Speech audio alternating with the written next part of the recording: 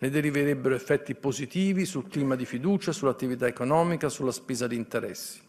Pur se non risolutivi, i dati vincoli e l'eterogeneità nella proprietà del patrimonio immobiliare pubblico e le caratteristiche del portafoglio di partecipazioni dello Stato, i programmi di privatizzazione potranno contribuire ad accelerare la riduzione del debito.